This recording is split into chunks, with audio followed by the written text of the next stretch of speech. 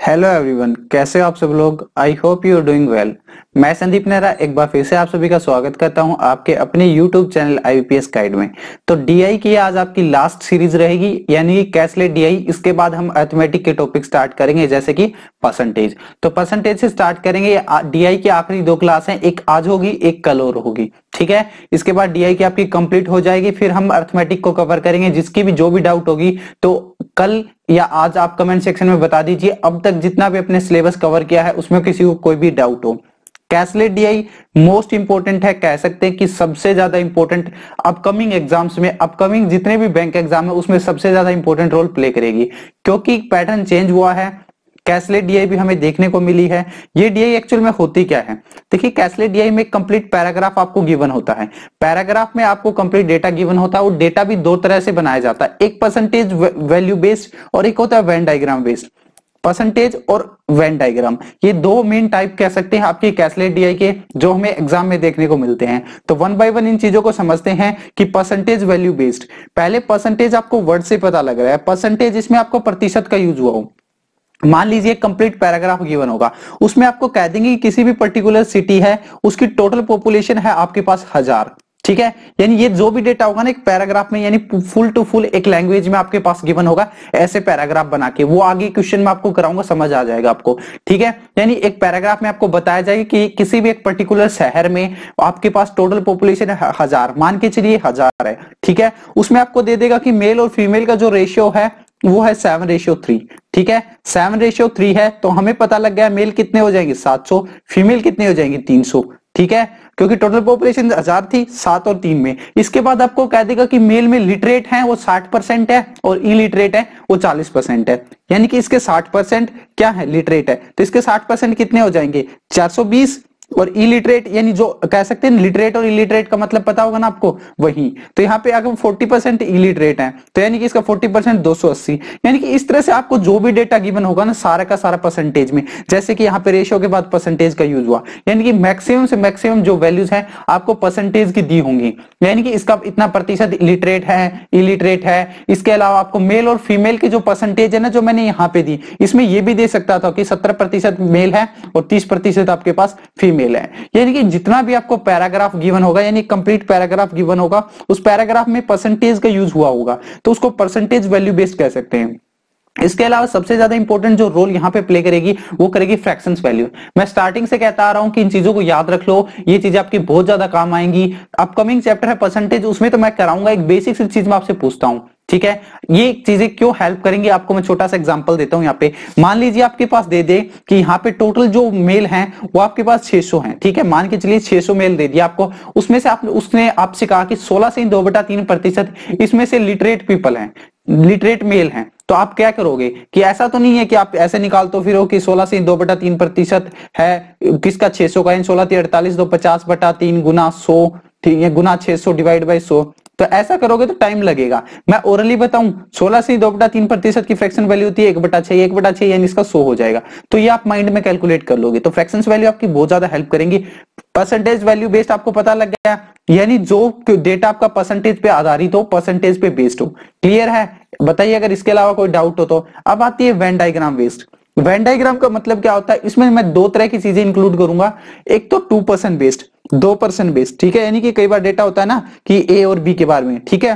तो एक Venn diagram आपका इस तरह से बनता है।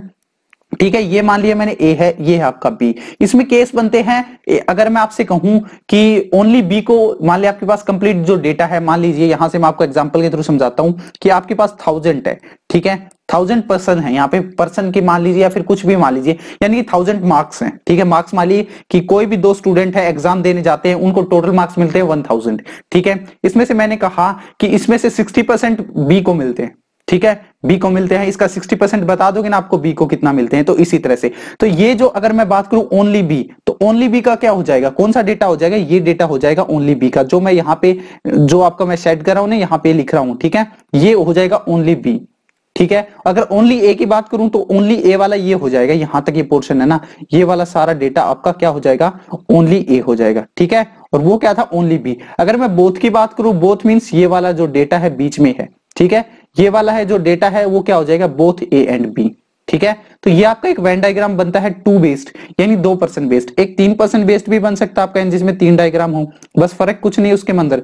उसके अंदर बस फ़र्क इतना है, उसमें तीन डायग्राम्स इंक्लूड हो जाएँगे। ये हो जाएगा आपका ए ये हो जाएगा आपका बी ये हो जाएगा सी अगर मैं ओनली ए की बात करूँ तो यह हो जाएगा आपका क्या? ओनली ए क्लियर है? अगर ओनली बी की बात करूँ तो आपका ओनली बी और अगर मैं ओनली सी की बात करूँ तो ये वाला डेटा ओनली सी हो जाएगा। अगर मैं बात करूँ यहाँ पे only A and B sorry only A and B की बात करूँ तो कौन सा होगा? तो ये वाला जो डेटा देख रहे हो ना, ये वाला, ठीक है? इसमें सिर्फ़ ए और बी हो तो ओनली ए एंड बी ये हो जाएगा, ठीक है? क्योंकि ओनली और इस चक्कर के केसेस में सबसे ज़्यादा दिक्कत होती है। अगर मैं ओनली ए और सी पूछूँ तो कौन सा होगा? तो ये वाला जो डेटा है ओनली ए एंड सी हो जाएगा, ठीक है? तो इस तरह से अगर only A only B C जो भी पूछे वो आप बता सकते हो। तो एक होता है वेंडाइग्राम बेस्ड एक होता है परसेंटेज बेस्ड ये मैं इसका बेसिक बता दिया, जब आप क्वेश्चन करोगे आपको समझ आ जाएगा। ठीक है? चलिए एक बेसिक सी डीआई ले लेते हैं, क्योंकि आपकी बेसिक क्लास है, इसके बाद आपको समझ आ जाएगा। और डीआई के अगर आपको हार्ड क्वेश्चन करने हैं ना टफ क्वेश्चन तो मैंने आईबीपीएस क्लैरिकल मेन्स का एक कंप्लीट कोर्स कराया था, जब आपका क्लैरिकल मेन्स एग्ज़ाम हुआ था तो उस टाइम तक मैंने एक कंप्लीट कोर्स करवाया था, यानी कि एसपीआईपीओ के प्रीवियस कोर्स में। तो आप वहाँ से चेक कर सकते हो। जितने भी टफ लेवल की डीआई है ना मेंस लेवल की डीआई मैंने कवर कवर करवा रखी है। मेंस में जो आएँगी वो एसबीआई पीओ के आप प्री एक्सपेक्टेड करना कि वो प्री में आ सकते हैं। तो वो कोर्स भी आप देख सकते हो। अब बात करते हैं बेसिक लेवल की डीआई यहाँ पे बेसिक लेवल की डीआई में देखिए सबसे पहले मैंने कहा था कि आपको ग्राफ गिवन होगा। सॉरी आपको कंप्लीट पैराग्राफ गिवन होगा। इस पैराग्राफ में आपको डेटा मेंशन क्या होता है? यहाँ पे पहले क्या होता था कि बार ग्राफ लाइन ग्राफ में कि आपके पास टेबल बना दिया बार ग्राफ बना दिया लाइन ग्राफ दे दिया पाई चार्ट दे दिया, उसमें डेटा होता था। लेकिन इस कंडीशन में क्या होता है कि आपको डेटा खुद ही खुद फाइंड आउट करना पड़ेगा, खुद ही बनाना पड़ेगा कि यहाँ पे कैसे वैल्यूज़ हम निकाल सकते हैं। जैसा कि आपका पजल में होता है रीजनिंग में सेम टू सेम तो इसी तरह आपको सोल्व करना है, जैसे पजल सोल्व करते हो। तो वन बाय वन यहाँ पे सोल्व करते हैं। यहाँ पे क्या कह रहा है? Different number of person went for a mall in four different days in a week यानी यहाँ पे क्या कह रहा है कि चार अलग अलग डिफरेंट डिफरेंट डेज़ पे कंप्लीट जो नंबर ऑफ़ पीपल्स हैं, वो जाते हैं कहाँ पे? किसी भी पर्टिकुलर मोल में। ठीक है? तो यानी आपको क्या मेंशन कर दिया कि किसी भी चार दिन, यानी एक हफ़्ते में चार दिन कोई भी नंबर ऑफ़ पीपल्स है, वो किस, किधर जाते हैं? मोल पे। ठीक है? अब आगे क्या कर रहा है? Total number of people went for mall in in Thursday is 600 यानी थर्सडे को जाते हैं 600 हमें पता लगे चार यहाँ पे डे गिवन है। तो मैं यहाँ पे टेबल बना सकता हूँ ना? जैसे कि मंडे क्योंकि ये पूरा पैराग्राफ पढ़ोगे ना, तब आपको समझ आ जाएँगे जैसे कि थर्सडे ट्यूसडे थर्सडे ये जो डेटा गिवन है तो मंडे ट्यूसडे ठीक है? वेडनेसडे इसके बाद थर्सडे तो ये आपके पास डेटा गिवन है। इसने क्या कहा कि जो थर्सडे को पीपल है, वो कितने 600 है? तो मैं यहाँ पे मेंशन कर देता हूँ कि थर्सडे को हमारे पास 600 है। अब क्या कह रहा है ratio of the total number of the people went for a mall in Tuesday Wednesday and Thursday is two ratio three ratio four यहाँ पे नंबर ऑफ़ पीपल्स जो आपके ट्यूसडे ठीक है, यहाँ से ध्यान से देखना। ट्यूसडे डैश वेडनेसडे और इसके अलावा थर्सडे ठीक है? ये डेटा आपको गिवन है, इसका रेशियो गिवन है two ratio three ratio four ये रेशियो गिवन है और हमें पता है कि जो थर्सडे की वैल्यू आई थी आपकी 600 थी। यानी थर्सडे को आपको डेटा गिवन है 600 यानी इस चार पॉइंट की वैल्यू हमें पता है 600 तो एक की निकालोगे तो 600 बटा चार कर दीजिए, पंद्रह चौके साठ होते हैं, यानी 150 ठीक है? हमें पता लग गया यहाँ पे एक पॉइंट की वैल्यू 150 है। तो ट्यूसडे को कितने आएँगे? 150 दुनी 300 तो यहाँ पे ट्यूसडे को मैं मेंशन कर देता हूँ 300 इसके अलावा वेडनेसडे को पंद्रह पैंतालीस, यानी 450 तो वेडनेसडे को कितने आ जाएँगे? 450 अब आगे क्या कह रहा है वो देखिए। Total number of people went for mall in Monday is 40 percent of the total number of the people went for mall in all the given days इसने क्या कहा कि मंडे को जो पीपल जाते हैं मोल में, वो 40 प्रतिशत होंगे टोटल नंबर ऑफ़ पीपल्स के जो इन सभी दिन में मिला के जाते हैं। समझे डेटा को कि मतलब जो सभी दिन में मिला के इसका मतलब है मंडे ट्यूसडे वेडनेसडे थर्सडे को मिला के टोटल नंबर ऑफ़ पीपल्स जितने जाते हैं मूवी देखने, जो मॉल में जाते हैं, उसका कितना प्रतिशत? चालीस प्रतिशत। अब दिक्कत कहाँ आएगी कि मंडे का नहीं है हमारे पास? मंडे का होता तो हम सभी का सम करके तो हमें निकालने की ज़रूरत क्या थी? क्योंकि इसने क्या कहा कि गिवन ऑल गिवन डेज़ यानी कि सभी दिन का मिला के तो आपके पास मंडे का नहीं है, इसका मतलब क्या समझे? अगर मंडे का 40 परसेंट है तो बचे हुए का क्या होगा? 60 परसेंट होगा ना? सीधी सी बात है तो लॉजिकल थोड़ा सा लॉजिक आपको लगाना पड़ेगा। जैसे आप पॉसिबिलिटी पजल्स में बनाते हो, उसी यहाँ पे लगानी पड़ेगी।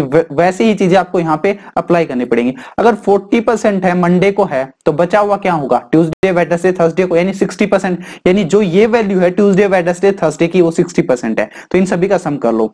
ठीक है? इन सभी का मतलब 300 600, 900, 900 और 450 यानी कि कितना हो जाएगा आपका? 1350 यानी 1350 जो वैल्यू है हमारी कितने प्रतिशत की है? 60 प्रतिशत की है और हमें निकालने कितने हैं? मंडे यानी 40 प्रतिशत। तो 20 दूनी 40 20 दिए 60 अब तीन से कैलकुलेट करोगे तीन चौके बारह तीन पाँच पंद्रह ज़ीरो। चार सौ पचास दूनी कितना होता है? नौ सौ होता है। यानी पैंतालीस दूनी नब्बे होता है एक ज़ीरो एजिटीज कर दी। तो मंडे की हमें पता लग गया नौ सौ। तो ये था इजी इसीलिए आपको थोड़ा सा आपका जल्दी हो गया। बाकी टाइम एंड वर्क बेस्ड ठीक है? यानी जो अर्थमेटिक के टॉपिक होते हैं टाइम एंड वर्क हो गया, ठीक है? पाइप एंड सिस्टम हो गया time speed and distance boat and stream जितने भी अर्थमेटिक टॉपिक हैं, सारे के सारे बेस्ड एक पजल्स में, यानी कह सकते हैं एक पैराग्राफ बेस्ड आपसे कैसे पूछी जा सकती है प्री एग्ज़ाम में। एक्सपेक्टेड है, क्यों है? प्रीवियस ईयर में प्री में भी आपकी डीआई आ गई थी कैशलेट आप आईबीपीएस पी उठा के देख लो, इनसे अभी आपको आइडिया लग जाएगा कि प्री में भी कैसलेट डीआई आने लगी, पहले मेंस में इसको इंक्लूड करते थे।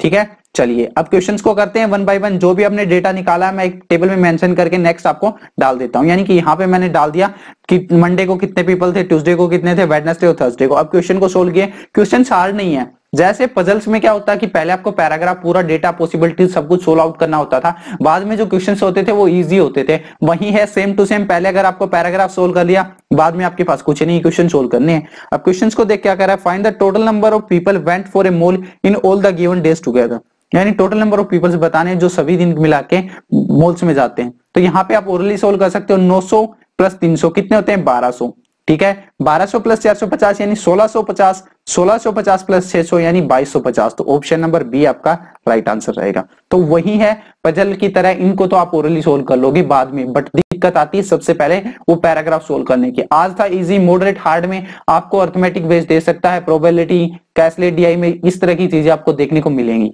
चलिए क्वेश्चन नंबर सेकंड को ट्राई कीजिए। क्या कह रहा है? Total number of people went for a mall on Monday is approximately what percent of the total number of people went for a mall on Tuesday यानी आपको यह कंपेयर करना कि जो पीपल है मंडे को जाते हैं, वो अप्रोक्सीमेटली कितने प्रतिशत होंगे जो ट्यूसडे को जाते हैं? अब देखिए मंडे और ट्यूसडे का तो मैं ओरली बता सकता हूँ ना क्या? क्योंकि मंडे को जाते हैं 900 ट्यूसडे को जाते हैं 300 तो इसका कितना गुना हो जाएगा? तीन गुना, यानी 300 प्रतिशत। चलिए, फिर से आपको कैलकुलेट करके दिखाते हैं। इसने कहा कि जो मंडे को जाते हैं, वो ट्यूजडे के कंपेरिजन में कितने होंगे? तो नौ जाते हैं मंडे को ट्यूजडे को जाते हैं तीन परसेंटेज निकालने के divide by so. Multiply by सौ सौ, तीन सौ एकम तीन सौ तीन सौ तीन, नौ सौ सौ तीन तीन सौ, यानी तीन सौ प्रतिशत हो जाएगा आपका राइट आंसर तो यहाँ पे कौन सा है? ऑप्शन नंबर डी आपका राइट आंसर हो जाएगा। क्लियर है? बाद वाले क्वेश्चंस कुछ नहीं है। दिक्कत आता सबसे पहले कि आपको सोल्व कैसे करना है। अब क्वेश्चन नंबर थर्ड क्या कह रहा है? देखिए if the ratio of the total number of man women children went for a mole in Wednesday and Monday is 4 ratio 5 ratio 6 and 9 ratio 10 ratio 11 respectively. Then find the difference between the total number of men went for a mole in both the days to that of the total number of the children went for a mole in both the days. आपको देखिए, सबसे पहले man women और childrens का ratio given है। Wednesday को अलग से है और मंडे का अलग अलग गिवन है। यानी यहाँ पे मैन वुमेन चिल्ड्रंस का आपको अलग अलग डेटा फाइंड आउट करना पड़ेगा। इसके बाद क्वेश्चन में आपसे पूछा है कि डिफरेंस बताना है मैन का और आपका किसका चिल्ड्रंस का दोनों डेज़ के बीच में। ठीक है? मैंने सबसे पहले हमें क्या निकालना पड़ेगा? मैन मैन और चिल्ड्रंस निकालने पड़ेंगे। तो मैन वुमेन और चिल्ड्रंस ठीक है? सबसे पहले हम किसका डेटा सोल्व कर रहे हैं? वेडनेसडे का करते हैं। ठीक है? तो वेडनेसडे का रेशियो कितना था? चार रेशियो, पाँच रेशियो, छह था ना आपके पास? चार रेशियो, पाँच रेशियो, छह था। यानी कि आपके पास मंडे को आपको पता है सॉरी वेडनेसडे को आपको पता है टोटल कितना वैल्यूज़ आपके? चार सौ पचास। यानी कि इन सभी का सम किसके इक्वल है? चार सौ पचास। तो छह प्लस पाँच, ग्यारह, चार, पंद्रह। यानी पंद्रह पॉइंट्स की वैल्यू किसके इक्वल है? 450 की इक्वल है। तो एक की निकालोगे तो 450 बटा 15 15 एकम 15 15 तीय पैंतालीस। यानी एक पॉइंट की वैल्यू होगी 30 हमें मैन और चिल्ड्रन चाहिए तो मैन यहाँ पे कितने हो जाएँगे? 30 चौका 120 क्योंकि एक पॉइंट की वैल्यू 30 है तो चार की हो जाएगी 120 चिल्ड्रंस एक की 30 है तो छह की कितनी हो जाएगी? 180 ठीक है? ये हो गई आपकी किस डे की बात? वेडनेसडे की। ठीक है, ये वेडनेसडे का डेटा है कंफ्यूज मत होना। वेडनेसडे का आ गया, फिर आपको मंडे का भी तो चाहिए ना। तो मंडे का भी निकालते हैं, दिक्कत क्या है? मैन वुमेन और चिल्ड्रंस इनका रेशियो देख लीजिए, कितना था मंडे का? नो रेशियो दस रेशियो ग्यारह। अब आपको पता है मंडे को कितने जाते हैं 900 यानी कि 11 नौ, बीस, दस, तीस। इन 30 पॉइंट की वैल्यू किसके इक्वल है? 900 के इक्वल ठीक है? ये 30 पॉइंट की किसके इक्वल है? 900 के इक्वल है। तो एक का निकालोगे तो कितना होगा? 900 बटा तीस, ज़ीरो से ज़ीरो, तीन एकम तीन तीन तिया नौ। यानी एक पॉइंट की वैल्यू आपके पास तीस है। आपको निकालने किसके? मैन के। तो मैन कितने हैं? नौ। तो तीस की नौ से करोगे तो कितना हो जाएगा? तीस नीमा 270 ठीक है? यानी क्योंकि तीन नीमा सत्ताईस होते हैं ना ठीक है अब चिल्ड्रंस के निकालोगे? तो ग्यारह तीय तैतीस, यानी कितना हो जाएगा? तीन सौ तीस हो जाएगा। क्लियर है? हमारे पास चिल्ड्रंस और मैन अलग अलग आ गए दोनों दिन में। आपको क्या बताना था कि मैन और चिल्ड्रंस के बीच डिफरेंस तो वेडनेसडे को मैन है 120 और मंडे को है 270 इनका सम कर दो। मैन यानी 120 प्लस 270 एक तरफ़ ले आओ तो कितने बन जाएँगे? 120 प्लस 270 आपके बन जाएँगे 390 अब चिल्ड्रंस को एक तरफ़ लिख लो। 180 थे आपके वेडनेसडे को और यहाँ पे चिल्ड्रंस जो मंडे को थे वो कितने थे? 330 अब इनका सम कर दो। ज़ीरो आठ तीन ग्यारह एक कैरी यानी 510 इनके बीच का डिफरेंस आपको बताना था। इनके बीच का जो डिफरेंस आपको ओरली दिखाई दे रहा है कितना आएगा? 120 तो ऑप्शन नंबर ए आपका राइट आंसर रहेगा। डेटा तो, तो बाद वाला तो आप इजीली सोल्व कर लोगे। दिक्कत होती है सबसे पहले। कि कैसले डीआई में वो पैराग्राफ कैसे सोल्व करें। कंसेप्ट क्लियर रखना, आपके बेसिक्स क्लियर रखना। अगर आप बेसिक्स क्लियर रखोगे ना तो मेंस तक आप इजीली निकल जाओगे। जीडी इंटरव्यू की आपकी अपने ऊपर डिपेंड करता है, उसकी प्रिपरेशन हम बाद में करेंगे। सबसे पहले हमारा मेंस तक का टारगेट होता है और मेंस में अगर आपको क्लियर करना है तो बेसिक्स क्लियर करके जाना सबसे इंपॉर्टेंट बात यही है। क्योंकि बेसिक्स और कंसेप्ट ये बेस्ड सबसे ज़्यादा कहते हैं ना, सबसे ज़्यादा इंपॉर्टेंट रहेंगे। क्यों रहेंगे? ये हर वीडियो में मैं बता चुका हूँ, क्योंकि जो डीआई आती है सारी की सारी अर्थमेटिक बेस्ड आती हैं और जो बेसिक्स के बेस्ड आती हैं। 45 मिनट होती है मेंस में, अगर आपको पता हो तो। 45 मिनट क्वेश्चंस कितने होते हैं? 35 प्री में 25 20 मिनट क्वेश्चंस कितने होते हैं? वहीं 35 क्वेश्चन डिफरेंस क्या है फिर इन दोनों के बीच में? डिफरेंस कुछ भी नहीं है। सिर्फ़ अपनी अपनी सोच का डिफरेंस है। बाकी इनके बीच में कुछ नहीं है। क्योंकि अगर कंसेप्ट क्लियर है तो इनको कर लोगे। कंसेप्ट क्लियर नहीं है तो आप फंस जाओगे। डिपेंड यही करता है, बस अगर कंसेप्ट क्लियर रखोगे तो ईजी रहेगा आपके लिए। क्वेश्चन नंबर फोर है, वो आप देख लीजिए क्या कह रहा है total number of people went for a mall on Tuesday is approximately what percent less than the total number of the people went for mall on Wednesday यानी कि ट्यूसडे को जाते हैं, वो कितने प्रतिशत कम रहते हैं वेडनेसडे के कंपैरिजन में? तो आपको पता है कि यहाँ पे सबसे पहले मैं ट्यूसडे की बात करूँगा, ठीक है? तो ट्यूसडे को कितने जाते हैं? टेबल में देखिए 300 पीपल जाते हैं। इसका किसके साथ कंपेयर करना था? वेडनेसडे के साथ। तो आपको पता है कि वेडनेसडे को कितने जाते हैं? टेबल में चेक कीजिए 450 तो कितने कम है इससे? 150 कम है। किसके साथ कंपेयर करने को कहा था? वेडनेसडे को। वेडनेसडे के कितने हैं? 450 गुना 100 तो आपको ओरली भी बता सकते हो। 50 150 से कम 150 150 दिए 450 होते हैं। क्योंकि ज़ीरो से ज़ीरो से काटने के बाद 15 कम 15 15 दिए 45 वो भी बता दोगे। एक बटा तीन किसकी फ्रैक्शन वैल्यू होती है? तैतीस सही एक बटा तीन प्रतिशत। यही आपका राइट आंसर रहेगा। अब ऑप्शन में देखो अप्रोक्सीमेटली कहा था ना इसने तो यानी 35 आपका राइट आंसर रहेगा। दैट्स इट इतना ही आपको करना है। चीज़ें सिंपल है, कुछ इसमें हार्ड नहीं है, जो आपको समझ ना आए। जितना ज़्यादा आप प्रैक्टिस करोगे धीरे धीरे चीज़ें आपको उतनी ज़्यादा इजी लगने लगेंगी। क्वेश्चन नंबर फाइव है डेली की तरह आपके लिए होमवर्क है। आप सभी को पता है कि इजी क्वेश्चन है, ज़्यादा इसमें कुछ हार्ड है नहीं।